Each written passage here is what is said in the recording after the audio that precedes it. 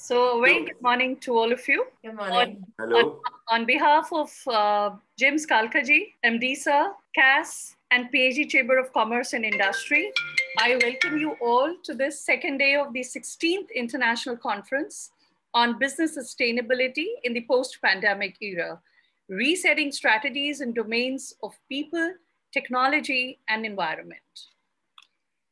Technology is seen as the most radical driver of change from artificial intelligence and automation to digital mobility and virtual collaboration. The lines between our work and personal lives are shifting. Diversity and demands for equality are also reshaping the workplace. We are living longer, which means we'll be asked to master more and different skills over a period of time and as and assume that the nature of work changes. Apart from them, social environmental pressures are also creating demands for more flexible working conditions, as is the gig economy. These changes are both a source of anxiety and insecurity. So therefore, we understand that organizations today will need to rebalance their workforce to focus more on collaboration between technology and humans and to harness digital skills. So how do organizations prepare for all this tomorrow, today? To deliberate on this topic, we have eminent speakers amongst us to bring forward the pertinent issues and confronting the planning for workforce in the current times. With this, I would like to invite our distinguished guest today, Dr. Fadi Fadel, Dean and CEO, American Business School, Paris, France, for a special address. And I take this privilege of introducing him to the audience. Dr. Fadel joined the American Business School of Paris, and he's currently the Dean. He's worked with his team on the national and international development of the program of the school, and his expertise is in the fields of politics and religion, women rights, interculturality, and many more. He's the author of the book La Politique Africaine de Barack Obama, Dr. Fadel is also an adjunct professor at Middlebury College, Vermont, and a lecturer at Sherbrooke University in Canada, and a senior fellow at the UQAM. I invite Sir for the address. Thank you a lot. I really appreciate this moment that I share with you guys. I'm very happy to meet again uh, Dr. Gupta and Dr. Seth. Uh, I would like first to express my gratitude to, to both Dr. Gupta, Mr. Chairman, who is a friend as well, because I appreciate his personality, his profile, his leadership. And my thankfulness, to Dr. Seth, because I met him one time and really appreciate his uh, professionalism and uh, his agility. And that's why, you know, I'm supposed to be yesterday with you guys, but yesterday I couldn't. So he adapted, he adjusted, and he said something appropriate to, uh, to be with you and to, show, to share with you a few thoughts. So this morning, I'm uh, sharing with you a few thoughts as educator. As uh, the lady said uh, before my intervention, it's true, the pandemic changed a lot in our way of thinking, in in our way of behaving, in our way of educating as well.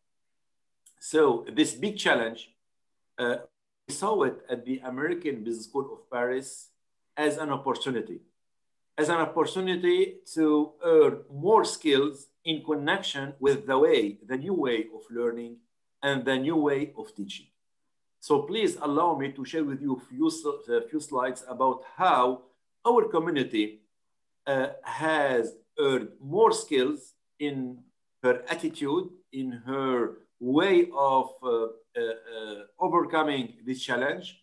And at the end of the day, I don't think that even if we'll go back to the normal life again, uh, we will have to deal with the pandemic for the upcoming few years, at least for the social distancing measures, and at least, you know, through combining both the uh, online or the remote learning and the face-to-face -face learning. Is it okay? Can you see that? Yes, sir. Yes, it's visible. Sir. Okay. Let me share with you how our faculty has adapted its attitude in order to be more in the, uh, in, in, the mood of uh, interacting with the students. this, the faculty uh, has earned more soft skills with this, uh, within this context, more active listening and dialogue. We are not anymore in this mood where the professor arrives to the lesson and starts uh, lecturing because this one with the online learning doesn't work, but we are more in the interactive approach in the dialogue. And the students are not only people who are receiving the lessons, they are more stakeholders and they are partners in this new way of learning and new way of earning knowledge and earning skills. Flexibility and pedagogy is very important, you know, to the uh, faculty to, uh, to be humble. This pandemic, uh, we learned a lot to be humble because we had to adapt, we had to create new things, and it's very important to not be afraid to back to a beginner state of mind. None of us uh, knew anything about Zoom before or about Teams, or if we knew, we knew very few things. But we accepted to go back to the beginner's state of mind to learn, to adapt our way, and to uh, use the new tools. And this humility, this modesty is very important in our life. And I think this skills is not only for now, it will accompany us, you know, throughout the upcoming month and the upcoming years. And with the uh, with this pandemic situation, the faculty has considered all forms of, of assessment, not only the midterm exam or the final exam, every single engagement and commitment from the students uh, has been and is a criteria that the students are earning the knowledge and they are interacting positively. And this has been noted by the faculty. Other point about the faculty attitude, they are providing more engagement activities and getting feedback to the students on their progress. And this is very motivating to the students, not only giving lessons and that's it, but having more the return of the students to make sure that they are uh, uh, understanding and they're assuming what the lessons is supposed to be. They design their teaching materials and their assessment tasks uh, when tweaking and changing assessment from face-to-face -to, -face to remote learning. And this is very important. It's not the class which was supposed to be face-to-face. -face. We will just give it remotely, but we have to adjust. We have to put more uh, materials and more uh, assessment tasks to get the students really on track and really motivated. You know, one hour on the online teaching, it's the equivalent of at least three to four hours face to face. So that's why it's very important to have some engineering stuff, engineering uh, uh, commitment to the students to transform them into stakeholders and to put assessments to make sure that things it could be quizzes, it could be Q&A, etc. Technology.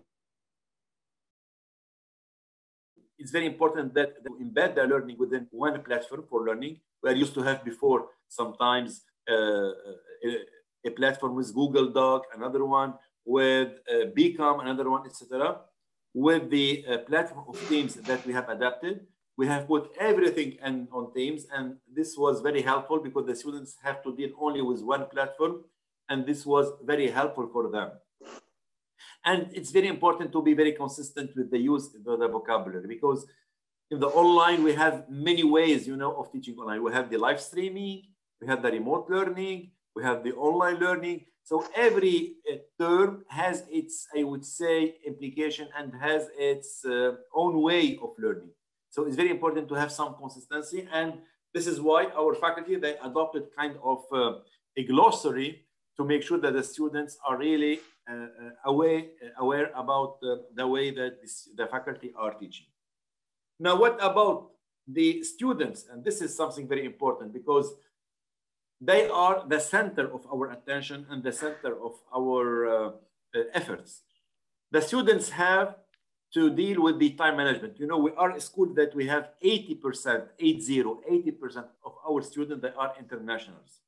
They are coming from everywhere, more than 80 nationalities. So we have Americans, we have Indians, we have French, we have Germans, we have Middle Easterns, we have Japanese, Chinese, etc., etc. So when the pandemic uh, when the pandemic took place, most of the students, they went back home.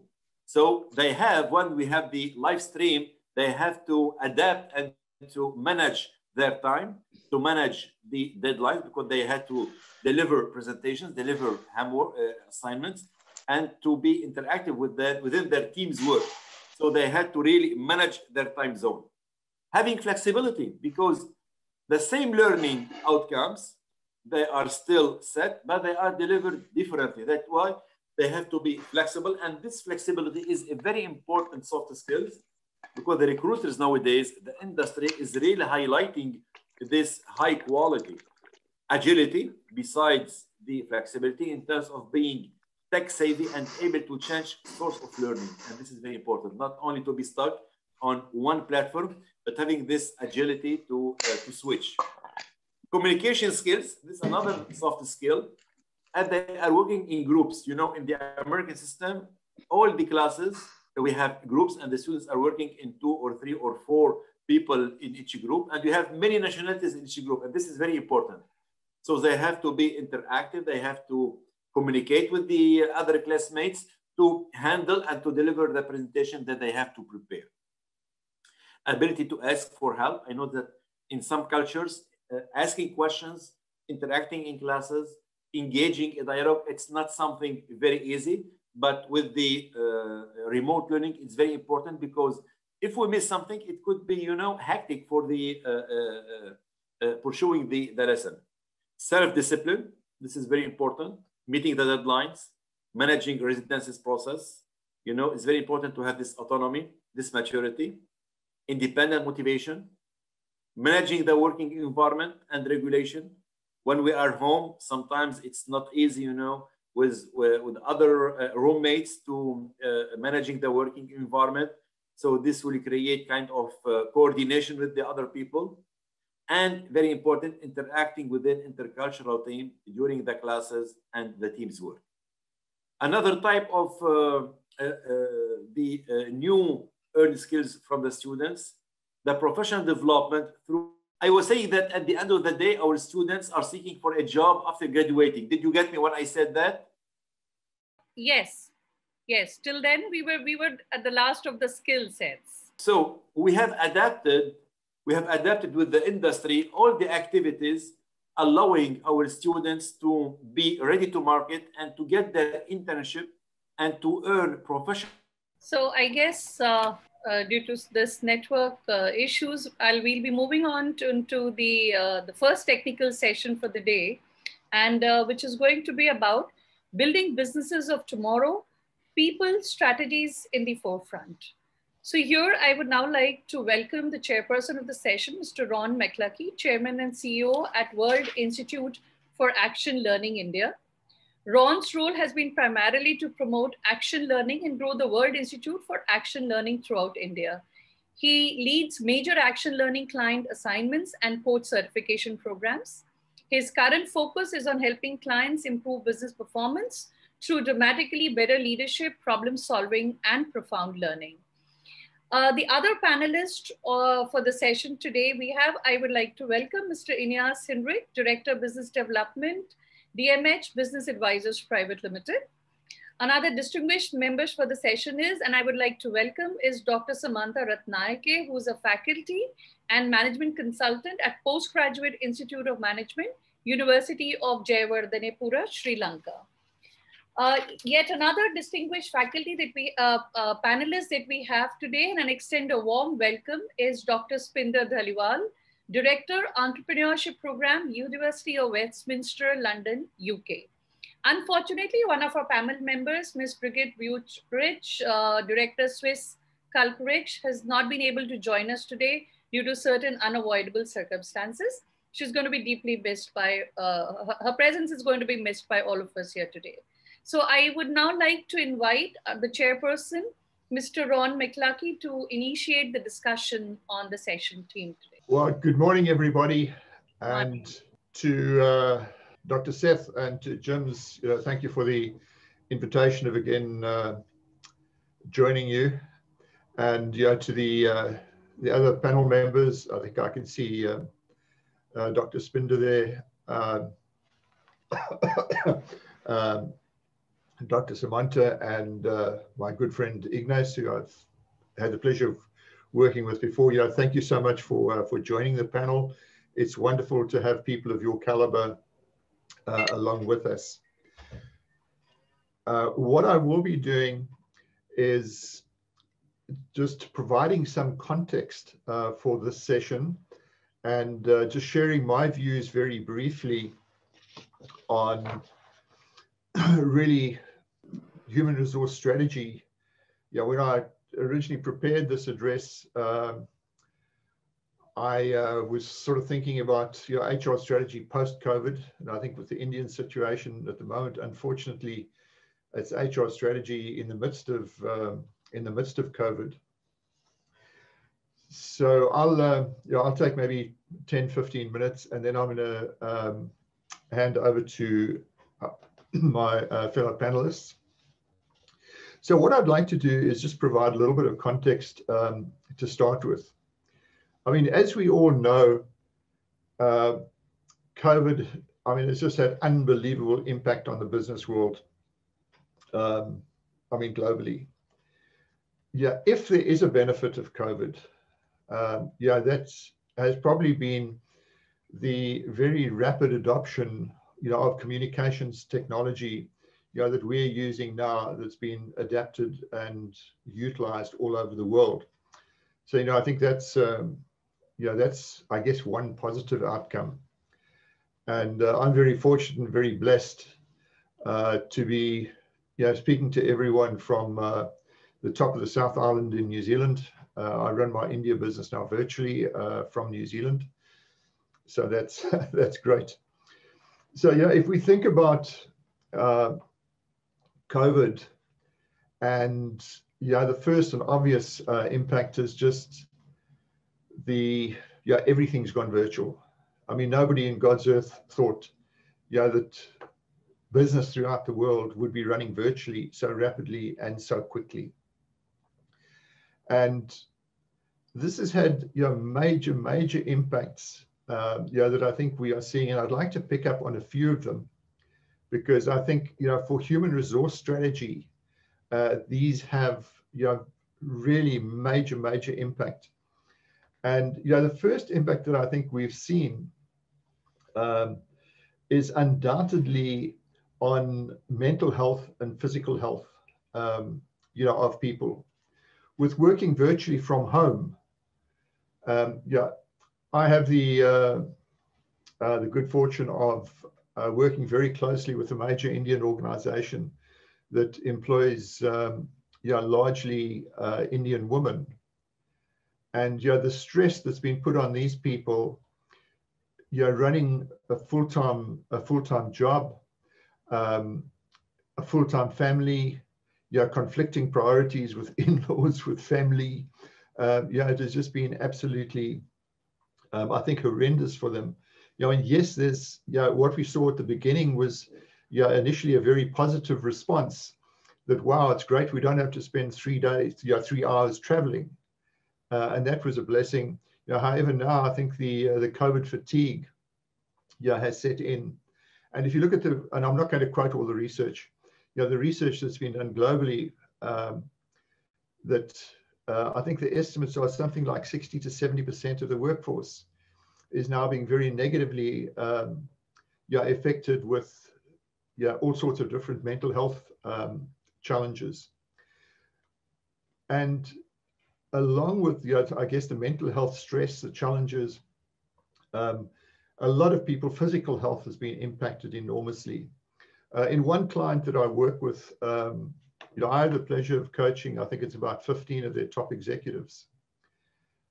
And before COVID, these people were really fit and healthy.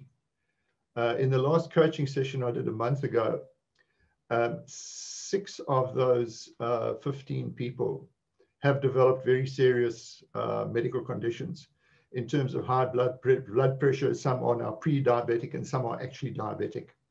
So, you know, what does this mean for the um, for HR strategy in companies? Yeah, firstly, I think it would be criminal if organizations do not very rapidly execute um, yeah, very robust um, yeah, physical health checkups um, for their people. These are not that difficult to do, and they're also relatively, um, yeah, relatively inexpensive. Yeah, at this time, when there's so much pressure on business and organizations, yeah, we just cannot afford to have our people, you know, so negatively impacted through um, through ill health and uh, and and mental stress. The other thing, from a strategy perspective, that I believe organizations should be doing.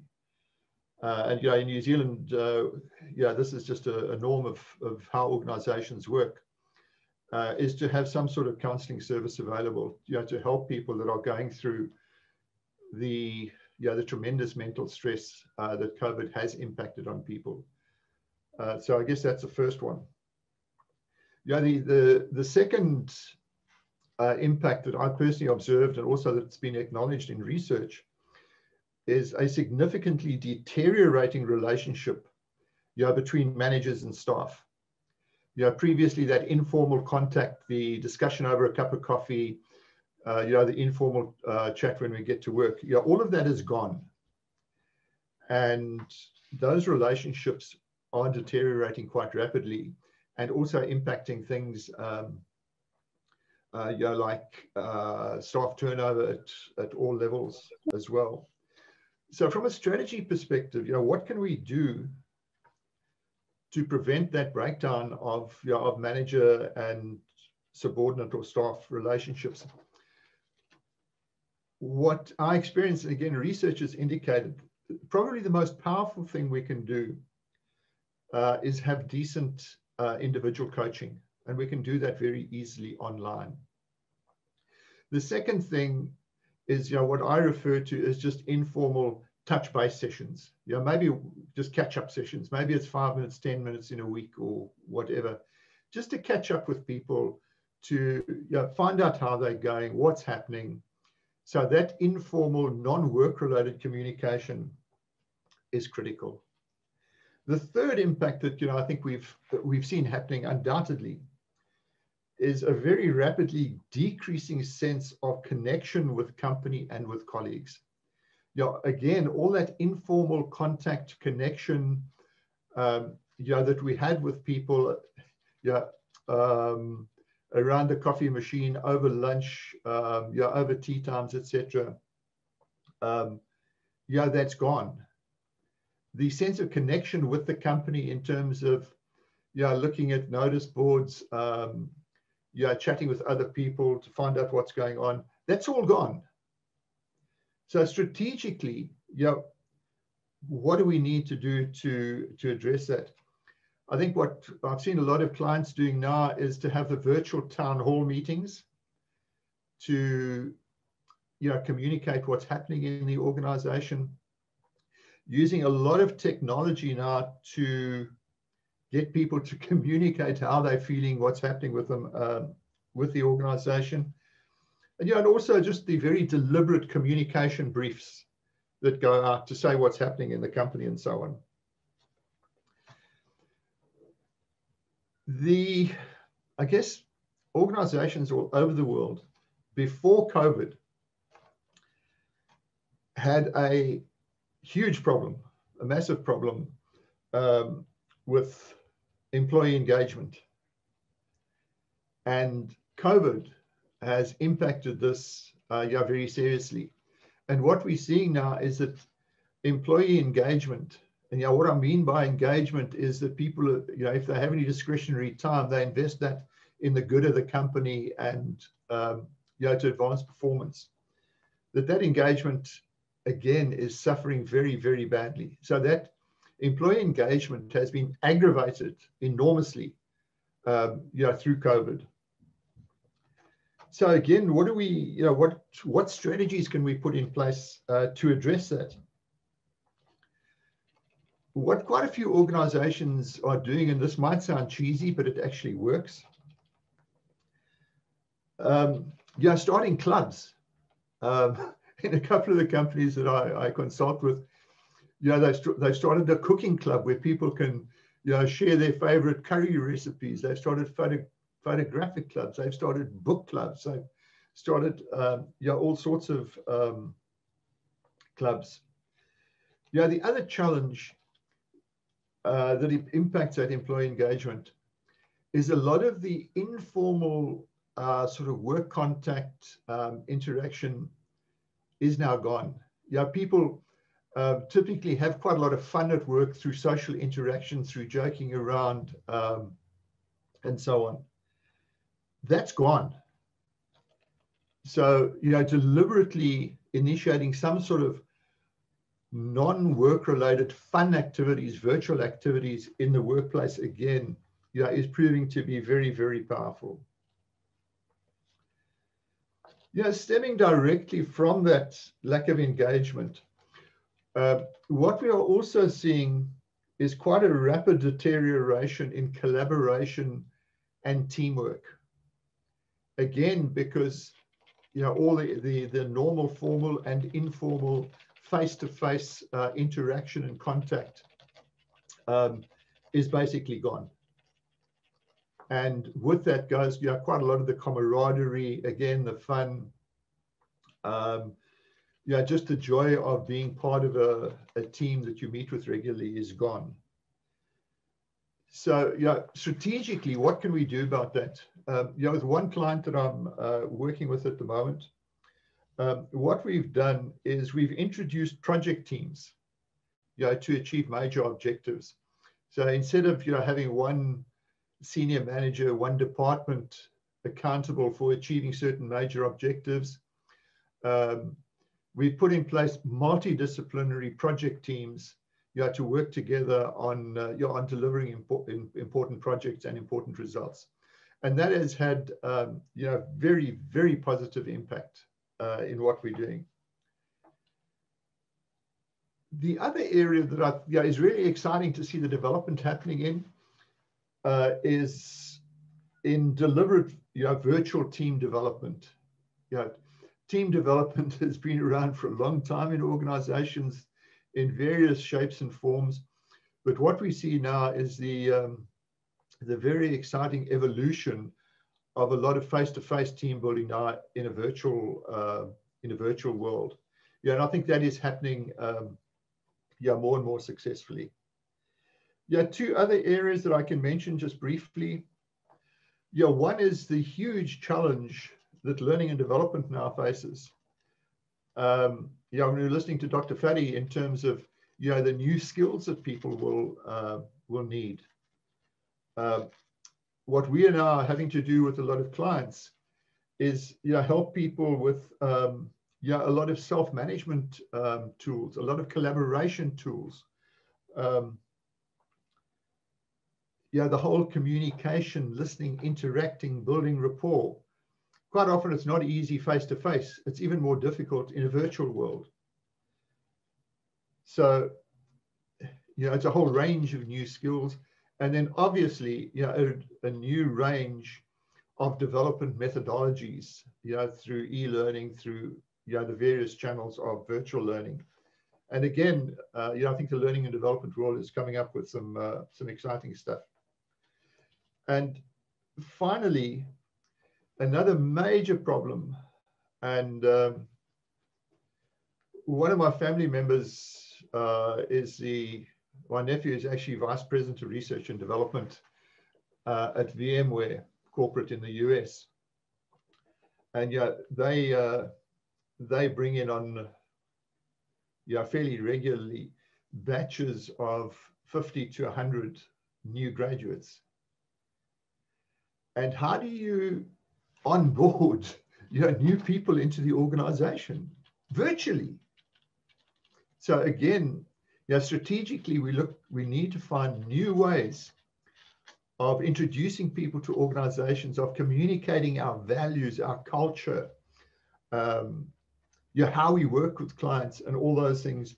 And you know, getting that connection with people, making them yeah, embrace the corporate culture, embrace our vision, embrace our direction, and doing that um, and doing that virtually. So those are just some of the you know strategic issues that I believe human resources people and corporate executives, managing directors, etc., you know, will have to face um, yeah, in the in the very near future. so, um, ladies and gentlemen, what I have done is I've allocated some time at the end of the session, you know, to deal with sort of Q&A. Uh, with the other presenters, you know, if there are any quick questions you'd like to ask them, that's fine. And we have dedicated about 15, 20 minutes at the end of the session. So now it is my great pleasure to um, to introduce um, Ignace uh, Hendrik.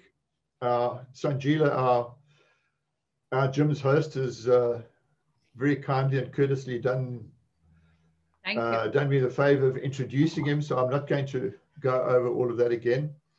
Um, so Ignace will be talking on leadership post-COVID, people first. So Ignace, thank you very much for joining us and uh, over to you, mate. Thank you, Ron. Um, wonderful to meet all of you. Um, thank you, Ron, for setting the tone uh, for this session. You had a beautiful background. This was like the perfect place to work from home. It's like you are in a holiday setting. First, let me share the presentation. Is it visible? Yes, sir, it's visible. Okay. So good morning it's a big difference compared to the normal sessions where we are in um, PHD chamber in Delhi and we can always see so many young and vibrant students in front of us. Today, we see a lot of pictures and I'm happy that almost 200 people are joining. The topic is new strategies after COVID. And I will talk about people. Why are people important. About a year ago, COVID-19 changed everything overnight. Lockdown was enforced and social distancing and mask became the norm. The pandemic impacted the way we live, shop, study, travel, and work. Business dynamics have been really disrupted in a way we have never seen before in our modern human history. Companies had a very hard time to recover. They were, they were forced to reinvent themselves and take fast and bold moves. Even today, there are no easy answers. You won't find them by looking backward, but only by looking at tomorrow and hoping you are doing the right thing due to government restrictions, companies around the world have been asking their people to work from home. A lot has been written about financial benefits of remote working or working from home. But there is always, or there is also a very alarming side effect of working from home. Something you really need to know. Just hang on. Let's start with the two key benefits of remote working for employers and employees. These benefits are valid for most of the countries around the world. Let's start with the employees. What is the number one key benefit of working from home? It's about commuting, commuting time and travel expenses. Imagine you live in Greater Noida and your office is in Cyber City, Gurgaon. It takes you two hours in the morning to reach the office. It's a nightmare. It's a pain. It's stressful, especially when you drive yourself. Just calculate four hours commuting a day, two hours in the morning, two hours in the evening, four hours commuting a day is 20 hours a week when you work from Monday to Friday. That's an average of 80 hours a month or 960 hours a year. 960 hours means 120 working days. What a loss of productivity. On the other hand, when you work from home, you save a lot of time but also fuel expenses, maintenance cost of your car, parking fees, and so on. You save easily a few thousand rupees a month. And families with two cars can consider to go to one car. It's a huge saving. Professor Nicholas Bloom from Stanford University in America estimates that working from home lowers commuting time amongst Americans by more than 60 million hours per workday. 60 million hours per workday. What a number. Commuting by car takes away around 15% of the annual income of employees in the West. This was the first key benefit for employees, saving travel costs, saving travel time. The second benefit, it's about cost of living.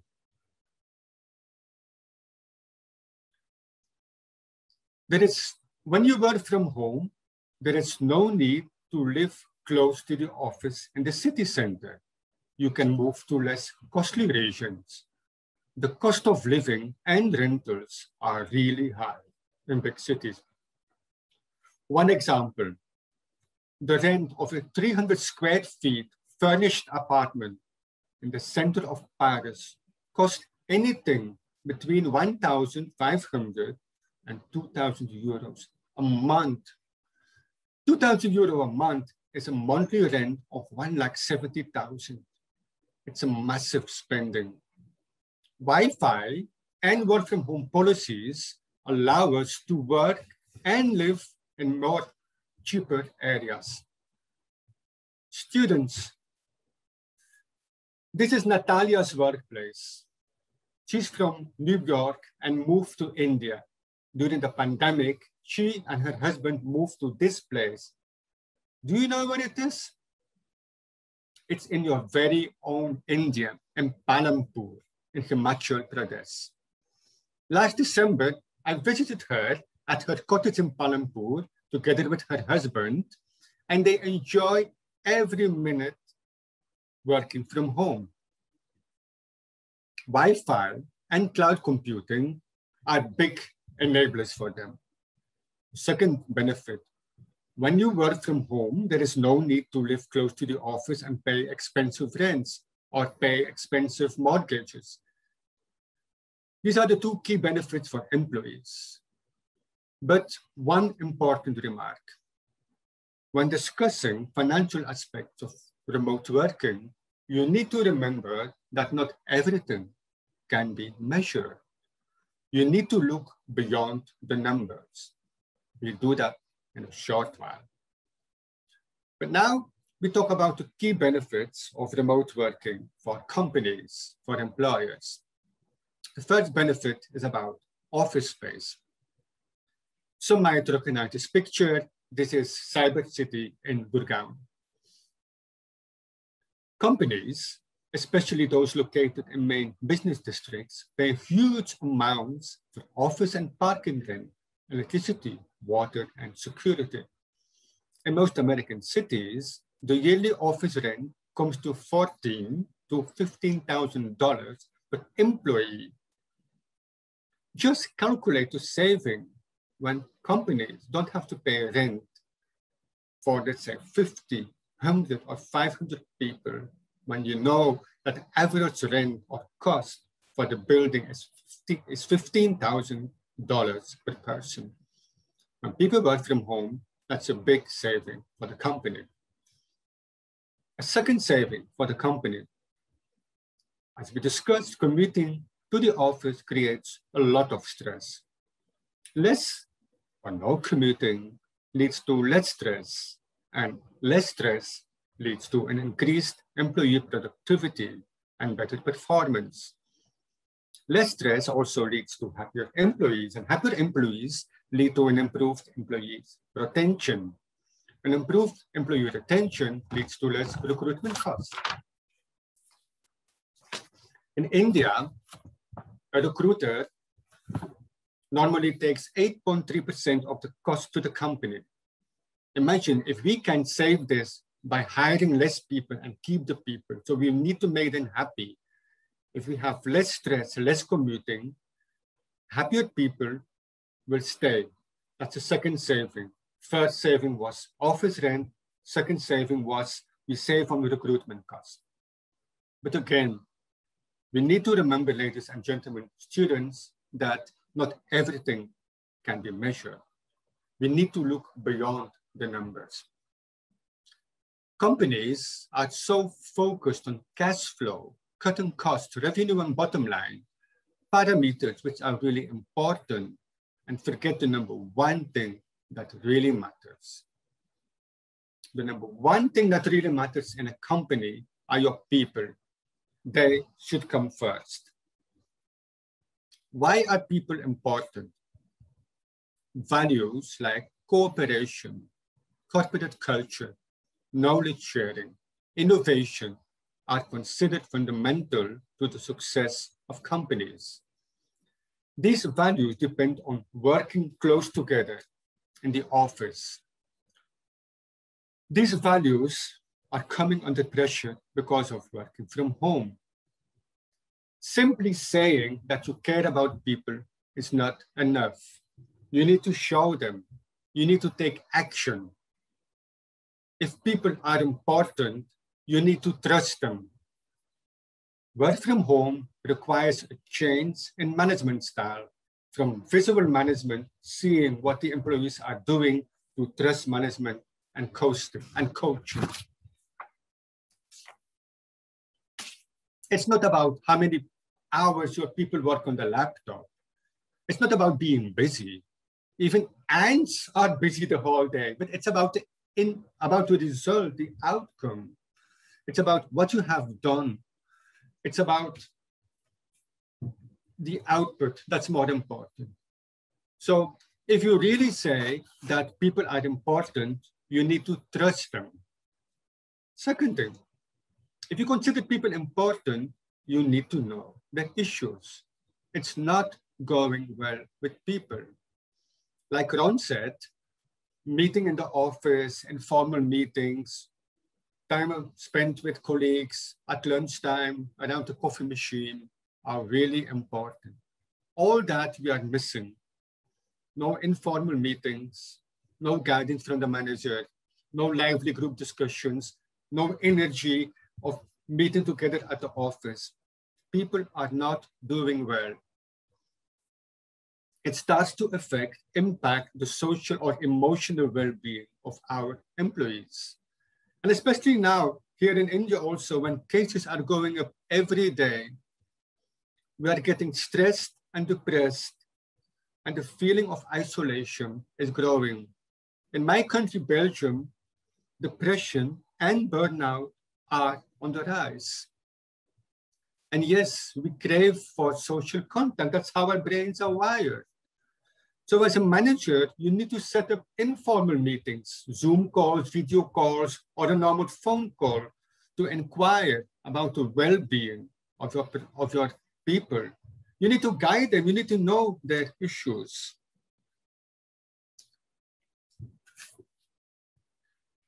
So as a future manager, you have the opportunity. Now, I would rather say the obligation to help your people we need to help them setting boundaries. When do you expect your, te your team to be available? When do you expect them to be online and offline? We need to be very clear. Work time, it's time to work.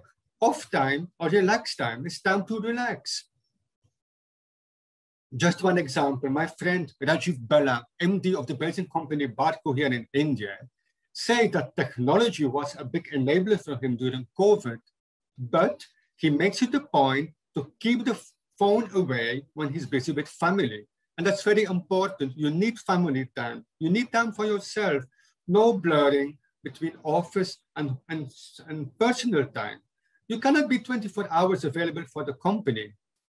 So you need to coach your people during these difficult times. You need to share information. You need to be proactive. You ask them, about their well-being. You try to guide them, you talk to them, at least have a weekly call to ask about their well-being.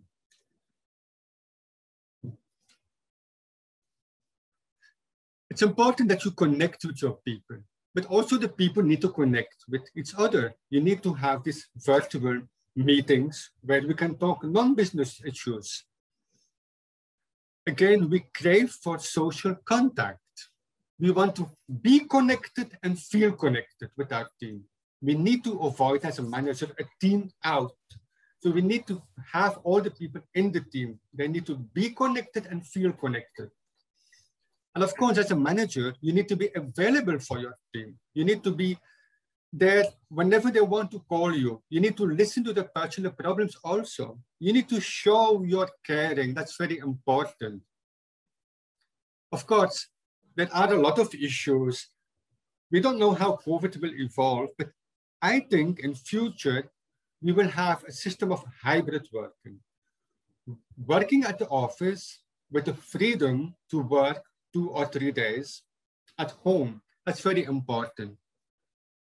To conclude this talk, you need to remember that not everything can be measured. You need to look beyond the numbers.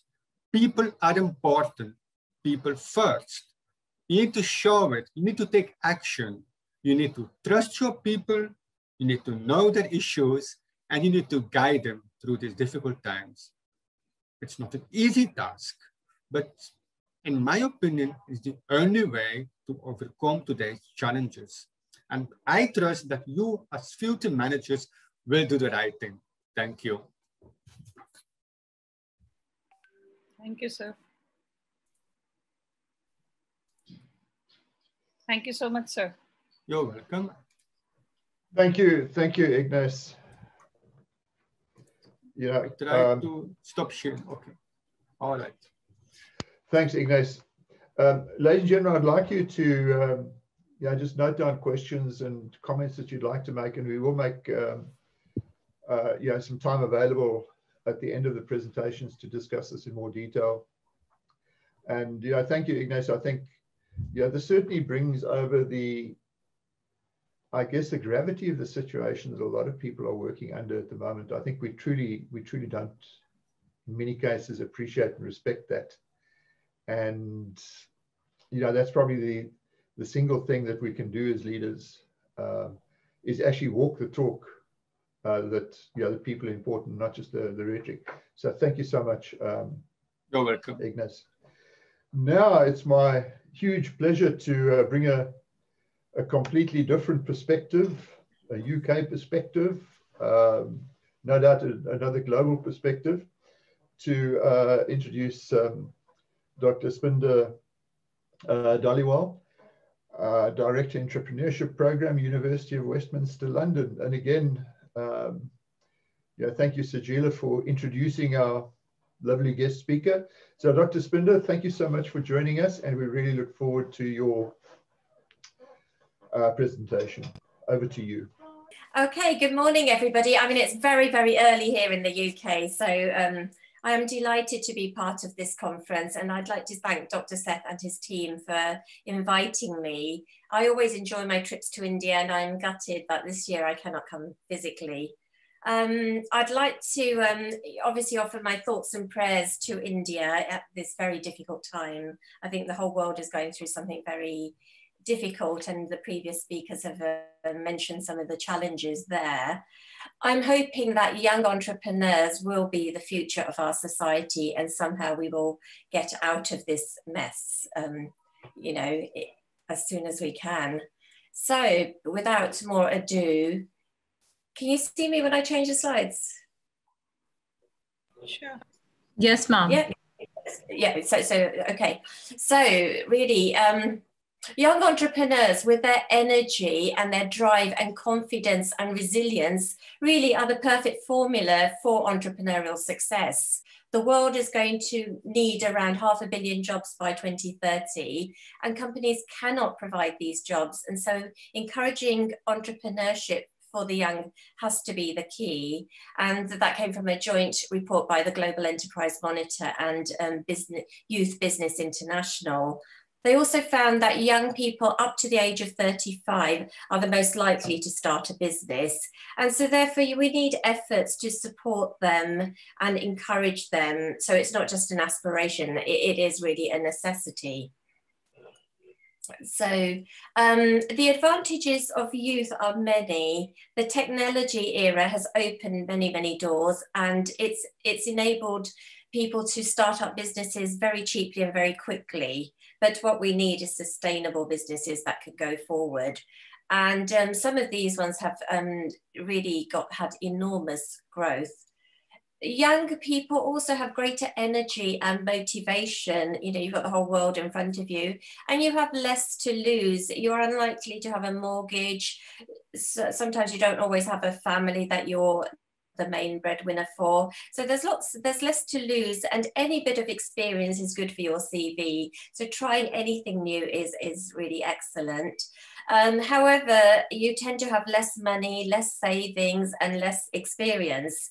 And maybe you're aware, less aware of your own strengths and weaknesses because of this lack of experience. So, but the advantage of, is of youth, um, so one of the um, students that I interviewed said, I had no fear, no mortgage, no major responsibilities. Um, you know, you have more room to make mistakes even if you fail, it looks great on your CV and you grow in experience and maturity. So it's character building. And as you know, most entrepreneurs who are successful have failed many, many times. Failure is not a problem. Um, so what kind of drivers are there? There are many risks facing young entrepreneurs. And um, really, you have to work very, very hard. There's no way of getting out of that. There is no get rich scheme out there. You have to work hard. And really, because you can't afford to employ people, you're multitasking, you're trying to do everything like many small business owners, you're trying to do everything. You're multitasking as a manager, salesperson, negotiator, etc. So, um, but the big benefit for young entrepreneurs today is that they're lucky they grew up with new technologies and social media. So this will benefit them enormously as it's second nature to them to, to be on the web and to, to be online. And so during this whole COVID era, you know, they're, they're very tech savvy. So what um, support is there? Universities around the world, if we look at entrepreneurship education, it's really evolved. Universities around the world are recognizing the importance of entrepreneurship as the future of management education. Nearly virtually every university offers some kind of entrepreneurship program. They have um, extracurricular activities such as um, you know sort of startup business shops etc they add value to the actual curriculum by having entrepreneurial societies, entrepreneurs in residence, summer intensive courses, boot camps. So there's lots of lots happening in the world with entrepreneurship education the governments as well, all through the world, they are supporting initiatives and they need to do more. I mean, universities clearly are the perfect breeding ground for young entrepreneurs. It's where you meet, you develop ideas, and you can um, sort of rehearse your ideas. Government support is, is essential. And if young entrepreneurs are going to be the job and wealth creators of the future, they really need some grounding and some help and uh, you know we need to let them make their vision a reality and really help that happen. And so you know it's one thing injecting self-belief and dynamism but how do these dreams get into reality? How do they go forward? And there's a myriad of sources available in most um, countries in the world. The UK government, for example, have several initiatives that help young people to set up their own business. They have Startup Loans UK, loans mentoring schemes, and um, we have organisations such as the Prince's Trust, where Prince Charles set up the Prince's Trust, where they help young entrepreneurs, and these are mainly from very disadvantaged families, and they give them very small bits of money. So, so they're not big grants or funding, small bits of money just to get them going, and just to stop them struggling from, from an early stage. There are lots of programs and accelerators too are gaining momentum.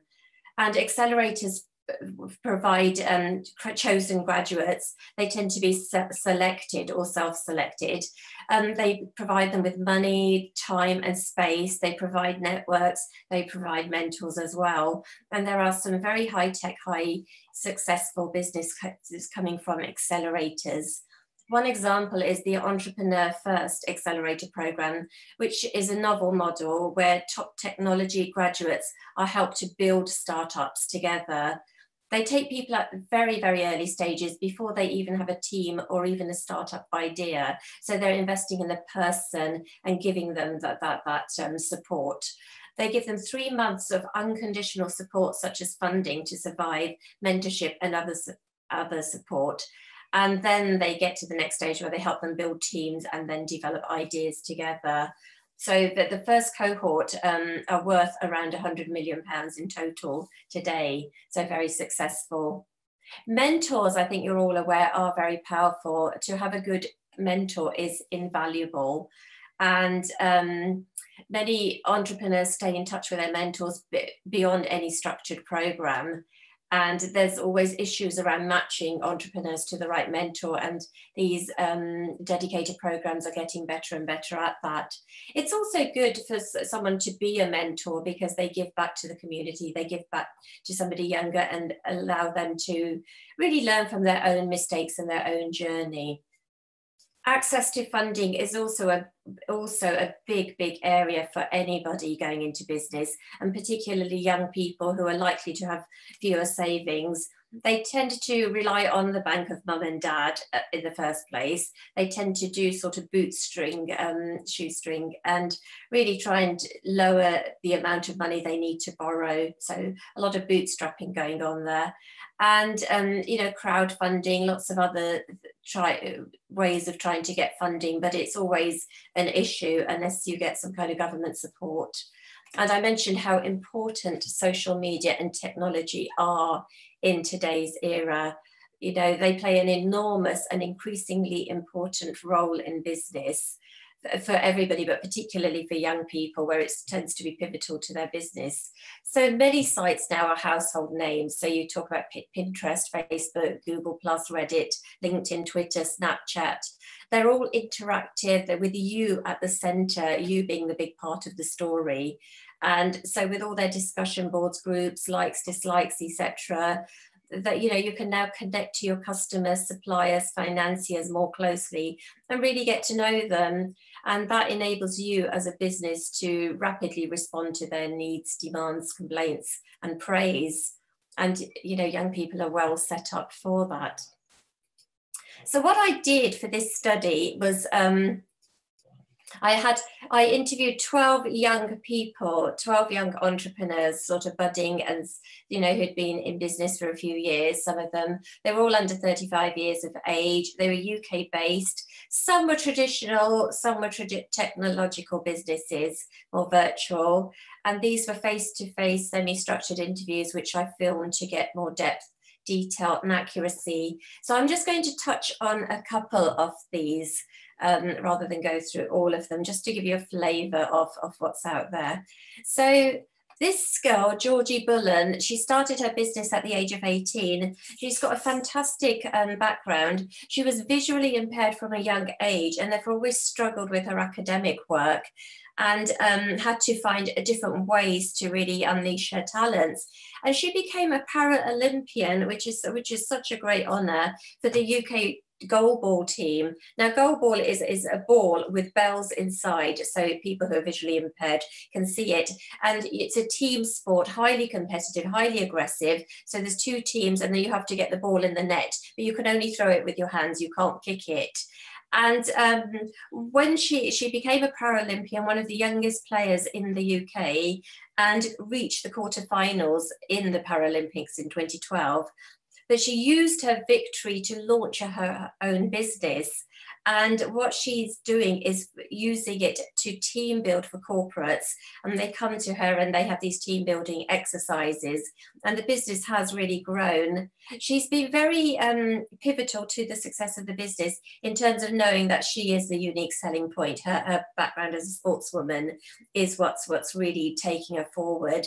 And she goes around the country giving speeches and really being very confident there. Another, I'm just touching on these and there's, I'll, I'll guide you as to if you want there's further story. Um, the other um, student I interviewed was um, Solveiga Pakštaitė, who's Lithuanian. She was doing an undergraduate project and she was really wondering how to, what to do for her project. And um, being innovative, um, she actually won the James Dyson Award for her, her initiative, which is Bump Mark. Now, Bump Mark came in a weird way. She was um, were doing some work for her university, and she was interviewing elderly people and people who were struggling. And once again, actually, funnily enough, it's, it's about the visually impaired. But um, she, she did interview a group of blind people, and she said, How can you tell if you put milk in your tea? You know, how much to put in? And they had measurements for that. She said, How can you tell if it's not right? You know, if, it, if it's gone bad? And then it got her mind working on a project uh, that a lot of food has gone bad. And if you are blind, how can you tell that it has? And then um, and she wanted to really have something innovative to, to give to the, to the sector. And um, it was the humble banana that came to her rescue because she saw a banana in a bowl of fruit and she saw the black marks on the banana and the bumps. And she thought, my goodness, but you know, um, blind people could actually feel that. And if she could replicate that and have that as part of um, her project that would really help. And so obviously in her university using all the resources she came up with Bump Mark which now has been taken forward as as a company and is doing really well. And you know you can feel it, it's specialist for, for blind people where they can feel if food has gone off in, in terms of the packaging. So, so very resilient, very innovative. She stayed alert to opportunities. She won awards to get money for her project and, um, you know, really, really did well. Um, a different type of business is um, this one by Christian Els, who was actually a student at my university. Um, he founded hallbookers.co.uk, which he started very young um, at the age of 21. Now, he was an overseas student from Australia, so I think near you, Ron. And um, he came to the UK. When he came to the UK, he was put in a hall of residence with other students. However, he was so disappointed with his accommodation when he had received the brochures and he looked on the website, he had, re, you know, all the pictures were glossy of a lovely room and all the facilities. When he actually arrived in London and was given his um, private accommodation, it was awful, you know, poor water, running water, really poor quality room. And he found it very difficult to concentrate on his studies. And he realized that this was a problem for a lot of overseas students where they felt cheated and really didn't have the right information because they're trying to book a room from a country very, very far away. And so when they finally arrive, it is very different from what they what they expected. So therefore he founded hallbookers.com where you give real reviews and actually you know have have a real sense so it's students giving reviews and helping other students to, to actually really find their way and, and that's really important I'll end this on um, Amit Pate. I have to end on an Indian. So, an Indian student who came to the UK, very, very innovative. He joined an accelerator program. And um, with that accelerator program, it was the Entrepreneur First one, where they are you know, really developed as individuals. Then they formed teams. So he formed a team with two other people, and he was looking at facial recognition technology. And his first idea was, as a as an undergraduate, he went to a lot of parties, and he met a lot of people, and you know, they took pictures and this and that. And he said, you know, after a few weeks, you don't remember the names of the people you met. You've got the photos, you don't always know the names. So he was trying to come up with a technology where the photos you know, you could match the names and there would be so, so, some kind of technology around that. He had to pivot from that idea. And in fact, it was the um, gruesome terrorist attack at the Boston Marathon in the US that ended up being the backdrop backdrop to his innovative new idea where um, you know the police there were looking for um, anybody who had taken photos of, of, this terrorist attack and they were trying to get them all together. And he felt that if his technology had been there he would have found the facial recognition and helped them So, um, you know, so he is developing cutting edge technologies with his Snaptivity app, but it's moved a stage further where now he's monetizing it and he's working in the UK with stadiums and trying to capture the emotions of people's facial expressions and then really using that as an advertising campaign for corporates who are, you know, and getting sponsorship deals from that. So very innovative Indian student who came to the UK and did really, really well. So in conclusion, um, you know, I just touched on a few stories, really trying to encapsulate the spirit of the young and how they have resources available to them. They have personal resources, hard and soft um, support as well. But there is clearly a need to promote young entrepreneurs and to offer them structured support, finance, and mentoring. Young people are more likely to employ other young people, and so they will help with the youth unemployment problem, which is going to be so pertinent and is pertinent and is worldwide. And um, more importantly, young people can experiment with business ideas. They could fail, and it's all a learning process. And whether they become entrepreneurs or intrapreneurs or employees, it will make them better and more experienced. And on that positive note, I would hand it back to Ron. Thank you very much indeed. Dr. Spindler, thank you. Thank you so much. Um, that was great. And um, Thank you. Yeah, thank you. I, I found that, um, yeah, in the midst of all the COVID uh, doom and gloom, um, you know, very positive and uh, inspirational. So thank you. The, a couple of points I really loved there because this resonates uh, very close to my heart. Yeah, is that failure is not a problem. it's so true, isn't it? I think we always um, think failure is wrong, but how do you learn if you don't fail? Yeah, yeah. expensive lessons. I, I, learned that the hard way as well. Um, and, you know, from a, a, capability development viewpoint, I think a, a, brilliant point that you brought up there, mm-hmm. that, you know, from the sort of entrepreneurial adventure, in terms of capability, it's brilliant. From, you know, what I think your words were with the multitasking. You know, you learn about technology, you learn about marketing, you learn about finance, you learn about frigging everything um, sometimes very painfully and other times with, uh, with great benefit. Um, so yeah, thank you so much. Um, I think uh, a lot to, for all of us to take away from that. Okay, uh, time to move on. So if uh, we could ask Angela just to close this presentation, that would be wonderful so we could get some of these young entrepreneur techies to help us. Eh? thank you, thank you so much. Um, so it's now my pleasure. Uh, that was yeah, wonderful to get a, a, UK perspective. So now it's my pleasure to uh, introduce um, Dr. Uh, Samantha uh, Ratnayake from uh, Sri Lanka, and that's a postgraduate uh, Institute of Management and uh, he will be talking on management insights for strategic foresight, resetting the strategic agenda. So, Dr. Samantathi, again, thank you so much for uh, joining us. It'd be great to get you know, further international perspectives, uh, and my pleasure to hand over to you.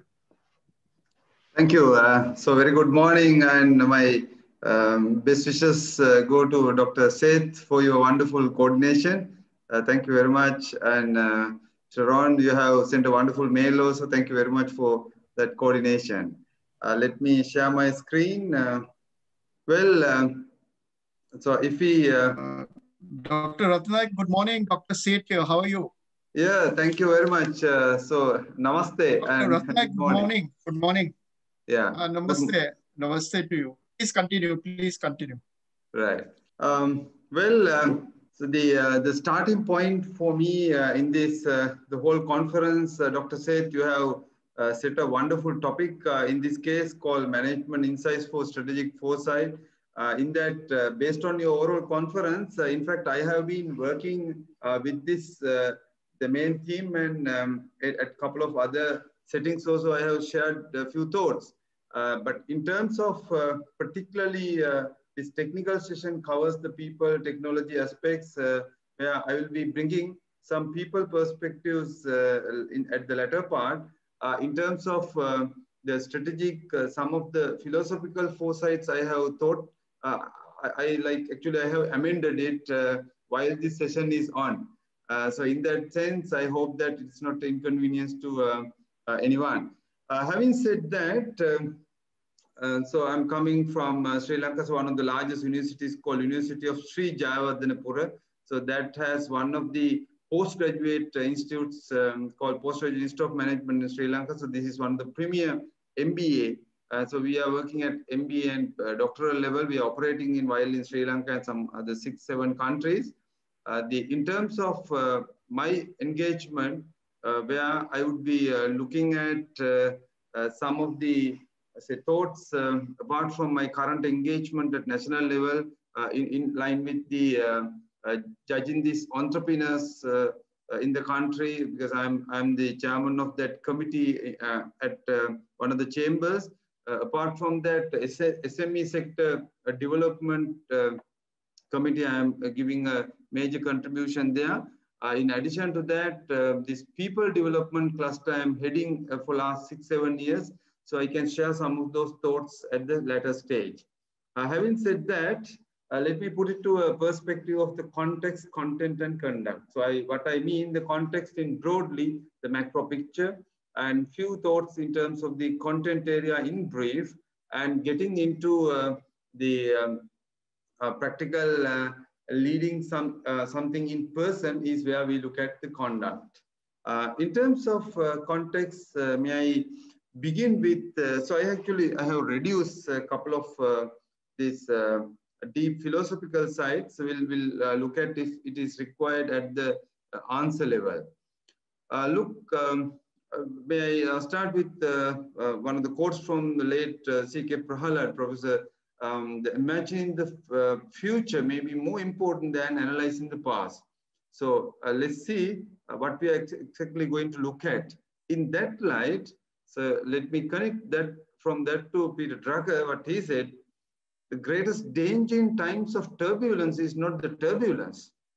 It is to act with yesterday's logic. So if I reiterate, to act with yesterday's logic.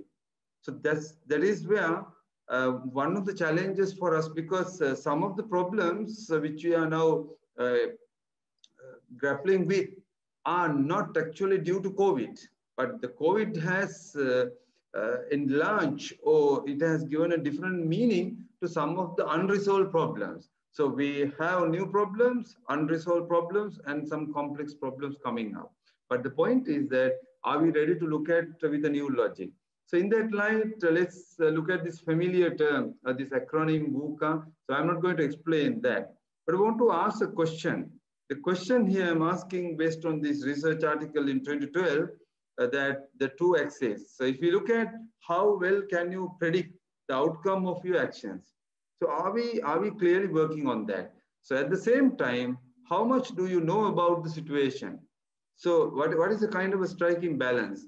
So here, while knowing that, uh, in terms of uh, VUCA, I would uh, bring another acronym uh, here that is called actually TUCAR, or T-U-C-A-R. So this turbulence, uh, uncertain, uh, complex and ambiguity is there, but the RO is the other area. Sometimes we tend to forget. So that that's what uh, uh, the David beach argues in, um, is from UK.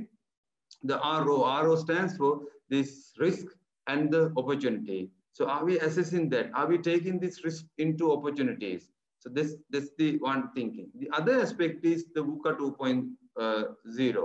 So as Bill George uh, from Harvard uh, argued that strategy for study leadership in, uh, in an unsteady world where we have the knowledge base at the moment to look at VUCA from 1.0 to 2.0. So this, uh, it's not just an acronym play. So if you look at that, it's a matter of uh, volatile to make a new vision, uncertain to get it to understanding, complex to get more clarity, ambiguous ambiguous into more agility. So are we doing that? Are we setting our uh, practices in those lines? At the same time, if you look at the two, two slides I want to share, uh, in terms of the VUCA 2.0, many um, the developmental fronts have been uh, established, like uh, working with people, emotional intelligence, uh, in line with vision, understanding, clarity, agility. Uh, the same way, let me share the next slide also. Uh, that is called leadership skills for world about to dawn. Uh, in that light, the vision, understanding, compassion, and agility. So all these practices are there with us. The only the challenge is that are we really getting some insights from those contextual philosophical background to our content. So with that, uh, the content, so if I ask this question from um, this famous quote, if I had an hour to solve a problem and my life depended on it, I would use the first 55 minutes determining the proper questions to ask. So dear ladies and gentlemen, uh, are we asking those proper questions at this juncture? So are we considering this COVID-19 transition, our uh, session chair has put a nice uh, uh, thoughts process into a perspective where what, what we are looking at in broader sense, but in terms of giving solutions, we want to ask a question like, are we asking adequate number of questions at this juncture even? I, I, will line up um, later uh, in a while. So having said that, all we are looking for new insights. It's all about the capacity to gain an accurate and deep understanding of someone or something. So that, uh, do we have that insights? And in that light, may I get a quote from um, uh, Steve Jobs, what he said, you can't connect the dots looking forward. Quite strange. You can only connect them looking backward. So you have to trust that the dots will somehow connect in the in your future. So uh, the in, in, in line with, uh, if you look at this uh, forward and backward, uh, are, we, are we in that, uh, the mood now? Like, are we learning from COVID transition? Are we really aligning our people, technology, processes, institutional uh, capabilities uh, to new demands? Or are we looking backward of uh, what we are missing or what we are lacking? And so it's quite interesting time for us to um, explore in a conference of this nature. So with that, may I say that among many theories, concepts, opinions, ideas, so how do we navigate? So for that, let me come to my third area. But at this point of time, uh, Mr. Chairman and the, uh, the other uh, the intellectuals, distinguished members, I want to ask a question. So from a management point of view, like in line with our the practices, we have a lot of, so the inductions and deductions about our understanding uh, this, uh, the uh, phenomena. But in a management point of view, uh, most of our professional thoughts are to a great extent now leading towards rather than induction and deduction, more abductions. So we are like making some comments and views and opinion uh, at a um, exponential manner, which have no uh, substantial kind of a philosophical um, backing. So in that light, uh, may I say, uh, may I say it's high time for us to explore further, but at this time I will uh, exclude that part and would concentrate on the, uh, the people aspect and some other areas of that nature. So are we ready to practice? So in that light, uh, the uh, Henry Mintzberg, um, in his one of the quotes, uh, clearly say the real challenge in crafting strategy lies in detecting subtle discontinuities that may undermine a business in the future. And for that, there is no technique, no program, just a sharp mind in touch with the situation. So that, uh, so shall we uh, collectively explore whether, whether we have that sort of, uh, that sort of touch with the situation and in that light, people factor is in the forefront. Uh, having said that, uh, here uh, the um, uh, one question. Let's pose and uh, ask this question. The COVID-19 pandemic, uh, dear friends, is it a failure in our preparedness for future versus creating foresight for our, our, institutional future? So as management professionals, uh, and other uh, scholarly uh, engaging personnel, I want to ask that, so where is our preparedness? Where is our readiness? Where, where are those practices within us. So I think um, it's high time for us to look at that. Even a couple of days back, I was at another conference when I was addressing uh, one, one of the scholars presented a beautiful finding about uh, the new views about the, the, the participants where that's in educational context, uh, like majority wanted to go back, go back for their physical work and, uh, and giving, so um, the, the other speaker gave some uh, fascinating uh, productivity, commuting and other benefits of people practices where the findings show, look, we want to go back. So is that what we are looking at for the future? So where is our foresight thinking? So that's um, in that light, may I touch upon a little bit on that? Um, in that sense, so the foresight means, uh, dear friends, it's about a systematic thinking and mapping of the future. So it's a futuristic thought process. So in that light, foresight comes from uh, generally from assumptions, and we are looking at the possibilities. So the, the bridging connector is the other foresight comes. So let me cut down these uh, theoretical aspects on that. So, but foresight comes uh, in technical form called way of prognosis, our past practices, examining the trends, what trends happen in there. And of course, we need to be ready for planning scenarios. I think one of the need of the hours is that in this, um, at this juncture is that planning scenarios. Uh, this COVID has given ample uh, testing imperative for us. For an example, like uh, we thought COVID first, second, third, fourth, now multiple variants. The um, so the new, new some findings uh, indicate that it's uh, air airborne. So then what we are going to do? How we are going to plan our engagements? So in this um, virtual are, are, they applicable to the, uh, the training uh, scope? Is it applicable for some other non-digital area where we need uh, the relationship? I think that's what uh, Mr. Ron has very clearly built up opening remark saying that networking versus relationship and engagements, how to strike a balance so that um, management foresights to be uh, uh, like deployed heavily towards exploring these, um, these aspects. So with that, so if you look at this between future and today, uh, so, so, some of the interesting thoughts there in terms of getting how, the, how to getting into a foresights as a practice, like sensing, sensing and meshing. So that's a, that is about shake up and the surface, the blind spots. Uh, I, I'm sure through these conferences, uh, we would be able to get a lot of blind spots surface and to get it to the new reality transformation. So that's all about foresight, connection between future and today. So with that, um, the uh, I would like to add some other new practices in scenario planning, particularly in the foresight uh, domain. That's called strange making. Familiar to strange, strange to familiar. And from that, uh, develop your transition design. So what is the kind of a transition design?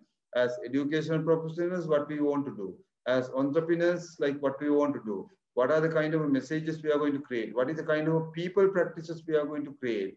And now we used to say in a HR uh, language, uh, training is to do, development is to be. But in that light, so are we creating that? For that, um, the scenario planning uh, is a science of surprise. So the science of surprise is now coming to the forefront. So as professionals, so we need to get um, more and more activities. Uh, the previous speaker shared some of the success stories of uh, uh, entrepreneurial um, incubation and transformations. And uh, so I think those are very much wonderful in this slide and how to get these uh, new sizing, uh, sensing, sizing, seizing kind of a science of surprise scenarios. So with that, um, if we look at a bit of a technicalities of forecast, uh, it is about um, identifying the driving forces, uh, looking at these critical uncertainties, critical uncertainties, and creating these scenarios and discuss action points. Ladies and gentlemen, scenario planning was not just what it has been discussing since 60s at a strategic uh, uh, mapping or strategic agenda setting discussions. It is now in the focal point. So it's our task to take it forward. So with that, um, what is our challenge in that sense? Uh, so we need to build a story. we need to build a story and we should be able to tell that in a concrete manner because most of our uh, the creating stories are very abstract and they are just abductions just thoughts just views just comments so predictions are getting like so the science and technology uh, the science and technology um, comments views and the ideas what we are telling to our staff our people are actually getting um, excluded and obsolete uh, overnight so then uh, uh, uh we are in a we are in a very testing imperative ground because of the COVID. So with that, uh, we'll we'll look at a little bit on this personal approach uh, to work, uh, where this famous uh, uh, outside in thinking of uh, the manipulation versus inside out thinking, the inspiration. So are we are we really taking this outside in view and giving out of our inside out thinking, or rather without looking at the outside realities, we just think that we can do, we can go back. Uh, I, we have lost the previous scenarios. Uh, is that the case? While appreciating the outside in perspectives, can we create the inside out uh, impact to the uh, society or the whatever engagements we do? Uh, and um, with that, in my final thoughts, just to refresh, where are the people challenges in um, World Economic Forum, uh, if I share those um, just uh, simple ones, 2015, the complex problem solving, 2020 list, complex problem solving. So if you look at 2022 list, it's all about analyzing active learning, creativity, technology, and critical problem solving.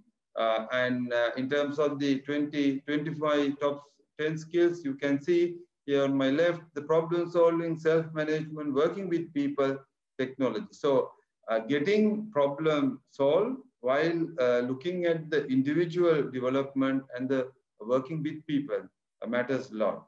And if you look at the, the soft skill uh, skills uh, set also uh, in that light, but I'm not going to look at much on, but um, the most of the hard skill areas are now are being compelled to apply by the relevant organizations due to COVID shift. So having said that, in con conclusion, may I say that we all want to be practical. Uh, we would like to go back and see the philosophy, see the, so um, it's, it's, it's high time for us to actually go and uh, look at what Karl Popper has said in 1950s, what the Thomas Kuhn has said about the meaning of paradigm in 60s, uh, what the, uh, the uh, Feyerabend uh, has said that the Paul uh, Feyerabend has said about uh, the challenging of the scientific methods. So those philosophical insights are now coming in big time now and get clarity on concepts and applications of conduct and in terms of the content can be contextualized. So in that light, in my conclusion, may I say, uh, from a entrepreneurship development point of view, there are there are multiple opening coming up. In terms of the SME sector development, multiple opening coming up uh, in terms of the people practices, it's high time for us to get our story right, get our uh, the concrete story right for them. Otherwise, uh, we as management um, professionals become just preachers, but not having proper established concrete results and output and outcomes. So with that, may I say thank you very much. Um, we'll take it forward uh, as we progress with the discussion. Thank you, uh, Mr. Chairman. And thank you once again, Dr. Thank you. Uh, Dr. Sivanta, I love your last uh, slide there. If you held the turtle, he only makes progress when he sticks his neck out. Wonderful. Um, Dr. Sivanta, yeah, thank you very much. I think you brought some, um, yeah, some great points uh, forward. And, you know, what I've personally taken out of your presentation, and which I value greatly, is what you've done is taken the reality of our current situation and placed that into a very sound conceptual theoretical framework that if we grasp it we can actually use that framework you know to navigate successfully out of where we are into the future. You know the other thing that i, I personally really appreciated um, about your presentation uh, was also my take uh, was you know, that that critical importance of a future perspective, uh, you know, which was enormous, enormously valuable. Uh, I loved your VUCA too. Um, it's the first time I've seen that. And, um, you know, I think that just provides so much, um, I guess, inspiring um, thought for us. Yeah, because you're all used to the, you know, the, the, the cliched old VUCA, and yeah, we know about it. But the VUCA too, I think, provides a lot of inspiration um, for the future. So the final point that um, yeah, I loved was that yeah, are we ready to practice? Are we ready to actually grasp all the stuff that we've got going around us and take some sort of action, yeah, to do something concrete, um, yeah, to bring about the change that we desire. So thank you so much. I really appreciated um, your session. Uh, so ladies and gentlemen, what I'm going to do now is to um, open up the session. We've still got a little bit of time to deal with any questions and answers. Uh, we've had one. Um, we we've have had a couple of. Yes, couple of questions, sir. Yeah. So. Would you like uh, to? No, I, I want. Yeah. Okay. Okay. If you'd like to, if you'd like to read this question out. Yes, I'll do that, sir. So one of the questions is that post-COVID, when the world has now started to rely upon AI, and the future is probably AI as well, how can we expect empathy and human understanding in the corporate world? So how will we keep maintaining a work-life balance? Okay, what I would appreciate doing, um, if I can just very briefly put this to the panel members, I have some views on that as well, and then uh, you know, just open it up further. So Dr. Spinder, would you like to have the first go at answering that? Which, Thank sorry, you. just to clarify, I was typing. Which question was it? The COVID one, post-COVID one? On the No, no, the the AI one. Okay. Um, okay, so so will it lower the work burden? That's No, no, no. Um, Sanjila, Sanjila can repeat the question. Uh, Yeah, Sanjila, what's Sanjila the can- question again? I can do that. Uh, the question is that post-COVID, when the world has now started to rely upon AI, and the future is probably uh, also AI, how can we expect empathy and human understanding in the corporate world? And uh, how can we maintain uh, a work-life balance with technology? Oh, that's a fantastic question. It really is. And I, I think that is going to be the next challenge. And I think, um, you know, the first speaker that did mention sort of mental health issues and other issues that are coming along in the world where, you know, people are on their own too much and they are struggling. And COVID has certainly brought out the worst in, in that. Um, I think there are lots of benefits with technology, and I think you know, in terms of efficiency, in terms of safety, in terms of lowering risk. So there, there are there are a lot of benefits. But I think as human beings, we have to still find a way of um, you know when it's safe to to communicate regularly with each other and to really show that respect for humanity and that that kindness i think that's going to be even more important as we go forward and not not deny our feelings and not deny how we you know how we feel our emotions at all so there's got to be more forums for that thank you, Dr. Spinder. Dr. Samantha, and then Ignace, and then I'll have a go as well, and I'll throw it open. Thank you. I think wonderful questions to start. Uh, I have two phases for that. The first part is if you look at the science and technology, the science means it's all about knowledge. The technology is a skill. So if you look at the, the scholarly work, the, where the field we belong to, the scholarly work is being appreciated. The Nobel Prizes are being given on that and the Nobel laureates are being created. But if you look at the technology, it's a skill and it's evolving. So if you look at uh, even engineering and medicine, while having uh, so much of developments in, in technology, but still we are now, uh, I would say relatively struggling at big time uh, in, in the global scale. So that is the knowledge and skill aspect of this, this domain of artificial intelligence. My second uh, facet in brief, uh, it's about earlier, we discussed before even COVID, high tech, high touch. It's about head and heart.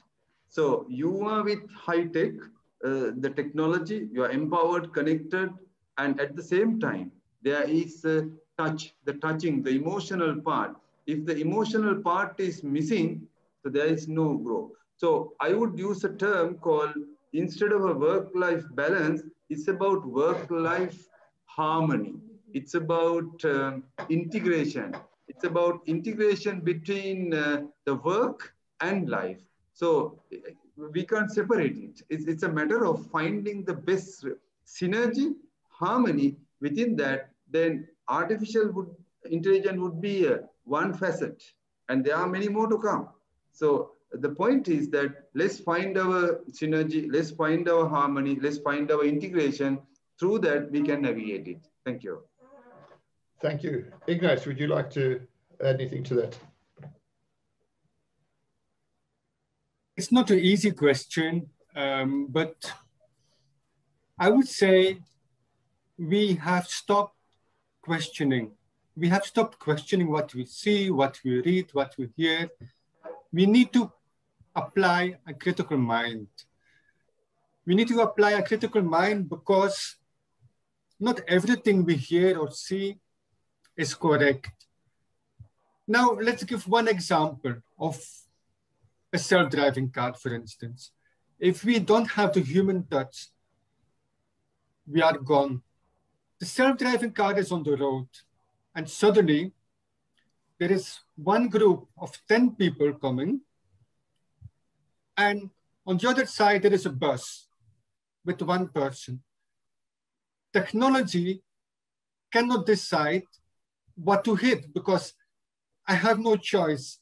It's either 10 people or the bus. Technology cannot make these critical decisions. Human beings will always be required to make critical decisions. We still have emotions. We have to also apply these emotions. Machines can never replace human thinking. But to be useful and needful as human beings, we need to ask questions. We need to be critical human beings. That's very important. Never give up the capacity to ask questions. And that is happening now. Look at the media.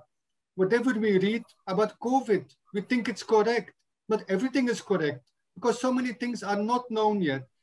So to be relevant in the next 100 years, we need to develop and use a critical mind.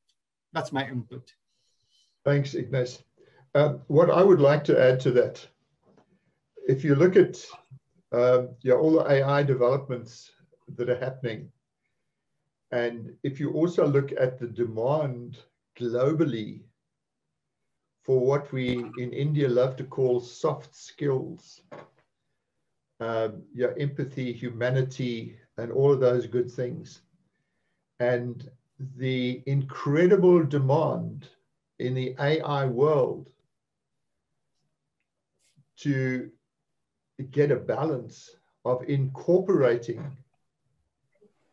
as uh, I think Dr. Samantha said, I, I did a seminar on this a while back. So having high tech, but built into that high tech, have the high touch if you have the high tech without the high touch, it's never going to work. And an AI is not going to deliver you know, all the, the wonderful things we, we believe it is going to deliver unless there is that integration with high touch. Uh, yeah, I think that's uh, that's my take. I don't think we have to be that concerned about it. Um, I see we have some other international perspectives here. Um, Maria, would you like to um, have a go at answering that or not? Thank you very much and best regards from Finland. First of all, I would like to say warmest thanks for the designers who have uh, made the program because it is uh, really interesting to look the uh, challenges and many things from different points of view.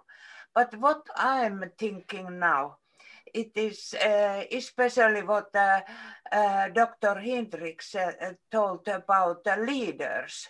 so we, my mind is that we need to uh, uh, totally change the content of uh, uh, edu uh, education in at universities.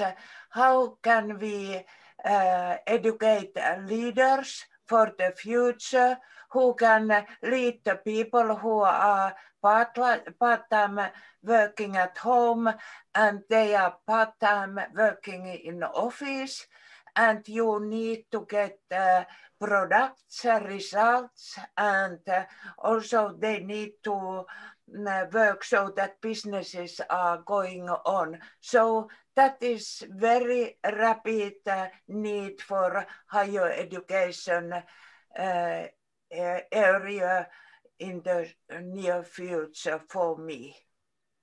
Thank you. Thank you, Maria. And, uh, you know, I guess the final remark from, from uh, me on that, yeah, if you look at what are the most critical skills for the future, um, I think the soft skills are going to put up a hell of a battle uh, to stay in line with the, you know, the, with the tech skills. I think it's going to be a great balance. Would anyone else, uh, would one other person from the audience like to have a go at answering that question? Uh, the screen is open. Okay, I don't see any further responses. Um, Can I, uh, sorry, can I ask the other question which was there on? Yes, please do, please do. Okay. I was going to ask you to do that. Yeah, so uh, the other question which has been asked is that, uh, as Sir Inya said, we need to hold informal meetings but how to bridge the gap for social needs of comforting and being able to confide in fellow employees regarding work-life stress as earlier a dinner or a drink with a colleague would have been an escape. Now but it isn't the same. Yeah there's a problem there on on the social front and the emotion who would like who would like to have a go at answering that one I think in many ways, I think, you know, looking at me and my colleagues, I mean, you know, when we did used to, we did used to meet for dinner and drinks and lunches and, and I miss that sorely. I really, really miss that experience. But I think we've still got the mindset here in the UK that this is going to be a temporary situation and that suddenly things are going to go back to normal. But actually, we'll never go back to normal. It will be a new normal. And I think people are still finding a way around that. We've had um, Zoom meetings where we've had individual meals and drinks, so everybody's sitting in their own homes, and that saves a lot on taxi fares and um, you know commutes. But it, you, you, don't have the same social interaction, and looking at a screen all the time is is very very difficult. I think for for me, the survival strategy is just phone calls and talking to human beings, you know, properly on a phone but I don't have a long-term solution. And maybe you know using you know using the ready the virtual technology we've got to try and replace that as much as we can, knowing it's not going to be an easy take. Would right. anyone else like to comment on that?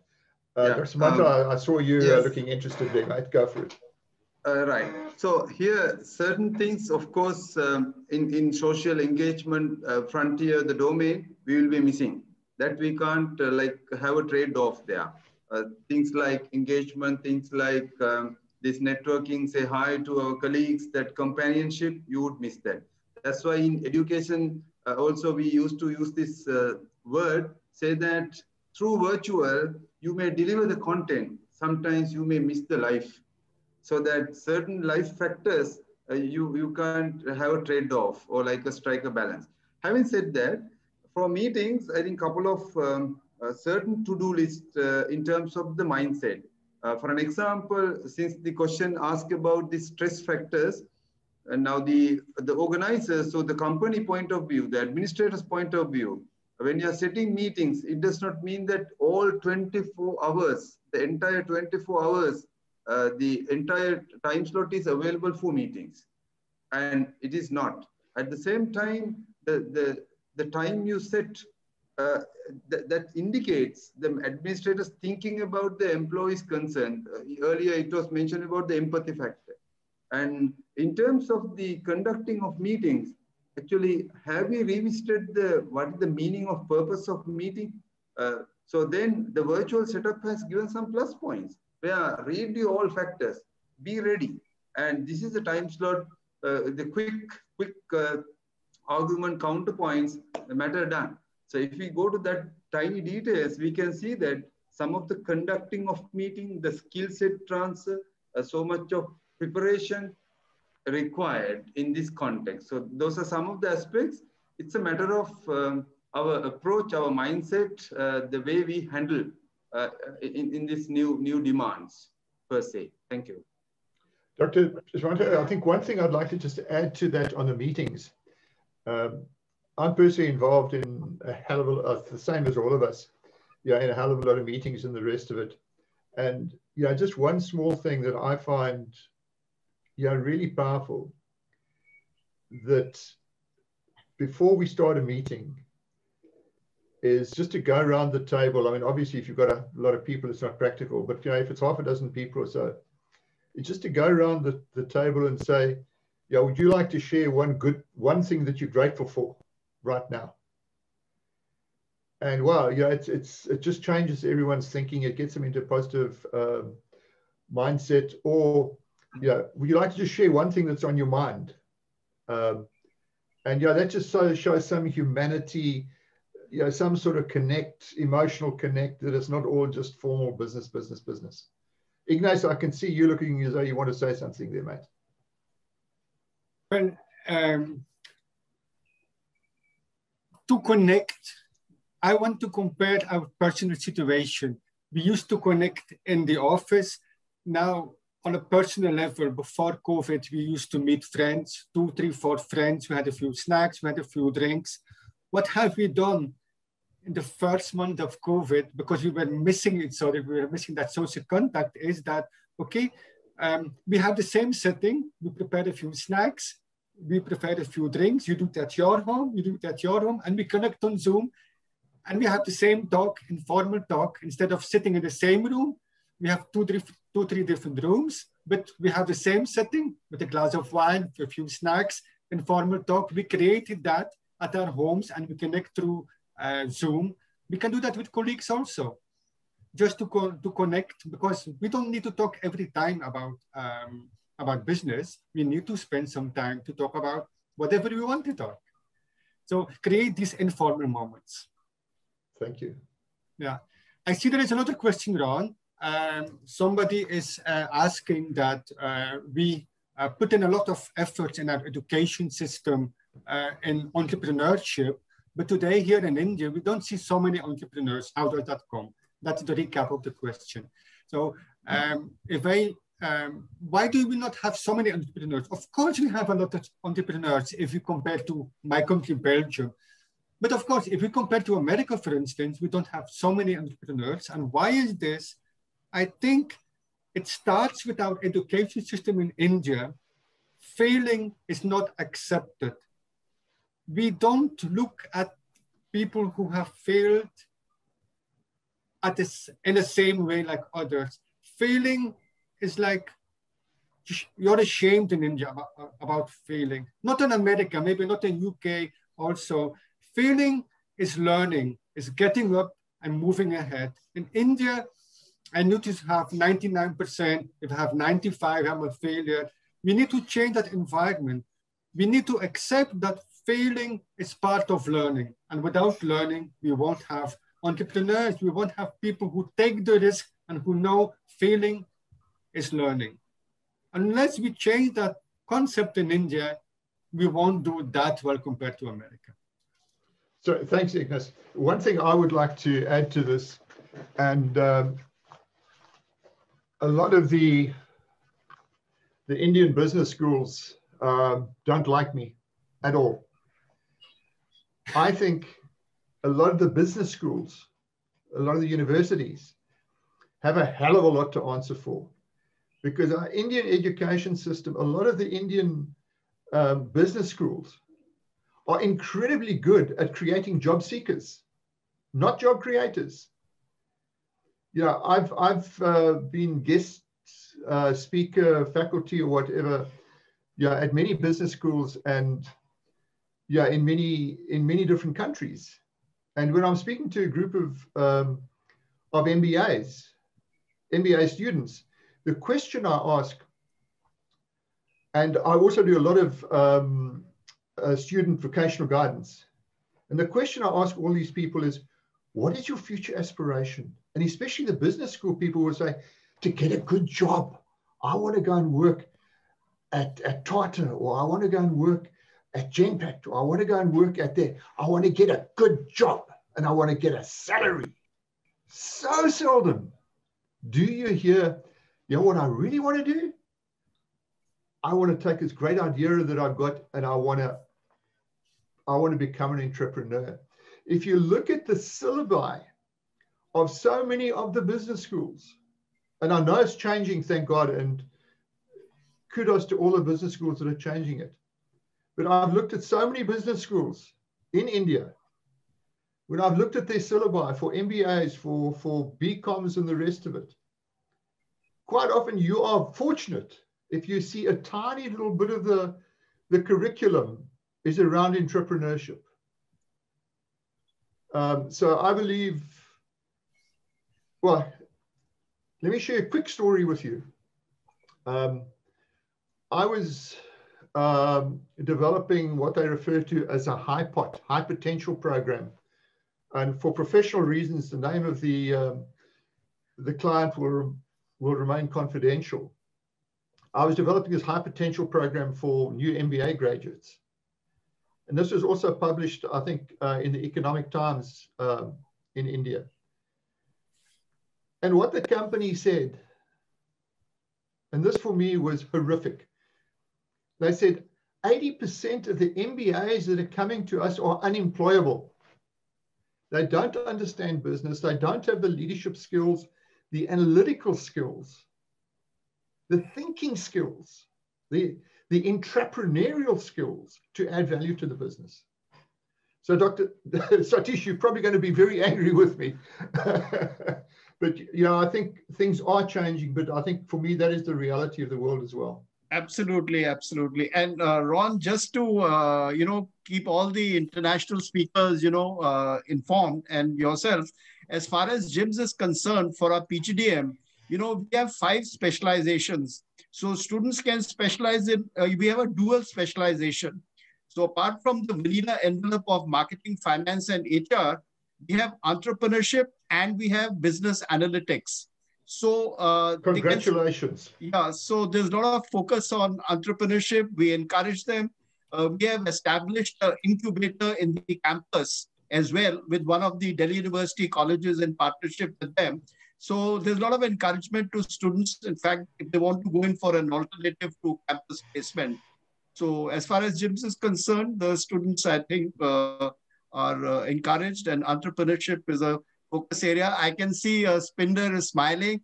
So that's her area yeah, it is my area. I, it was a beautiful question, a very sensible question. And you know, some students they work for a company for a few years, then they think of coming, yeah. you know, starting a business, or they go into a family business. But in the UK, a lot of the Indian immigrants they started their businesses because they faced a lot of prejudice in the workplace. So they were working for companies, they were working, and because of that prejudice, it, they were pushed into entrepreneurship almost. Yeah so you know there's, there's lots of factors that that sort of um, make you grasp it. But yeah. um, the question is about lacking courage and support. And I think, uh, you know, that Surab Singh posed that question, and it's a very good one. I think um, even the students that I interviewed, once they were running their own businesses, they saw their friends working for companies earning a good salary while they themselves hadn't really, in their first two, three years of the business, made any money. So there is an opportunity cost, there is a sacrifice it depends how much self-belief you have as well. It takes yeah. courage. Thank you, Spinder. So, uh, Ron, I think uh, we've uh, run out of time. Uh, and uh, yeah, before I hand over to Sanjita for the next session, I want to thank you very much for being here and all of you, uh, Samantha, Inya, Spinder, you know, for being here for JIMS, supporting us in our, you know, this is our flagship event, the international conference.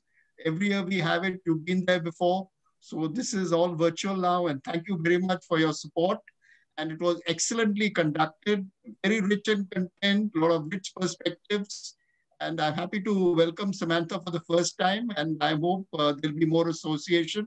in the future uh, conferences. Thank you for being here. Thank you, Dr. Thank, Thank you, Ron. you. Satish, thank you from our side. Thank you very, Thank you very much. And to everyone, namaste. Namaste. namaste. namaste. Uh, Let's hope um, COVID gets over. Good luck, God bless, and uh, we hope we'll see Yeah. you again. Thank you. Thank you. Thank you. Ignace, thank you very much. Ignace. You're welcome. It was always a pleasure to share some uh, opinions with, with students. And Yeah. uh, I appreciate the fact that you are doing this session for, I think I'm attending for, for more than 10 years. So Yeah, that's right. That's good. Thank you. Yes, Sanjila, please. Yeah, thank you, sir. So thank you all once again for such a captivating and stimulating discussion on the subject. And the key takeaway that I take from all the eminent speakers is that in order to deal with the post-pandemic situation, uh, I can only use three words, which I feel would be uh, summarizing the session, would be uh, recovering, responding, and thriving with the situation that we are faced. So engaging uh, in, a, in a productive manner, that would be the answer to how we deal with the situation that we are faced today. So thank you all once again. And uh, I would now like to hand over to my co-host, uh, Ms. Jyoti Kukreja for further technical sessions. So good day to all of you and thanks once again.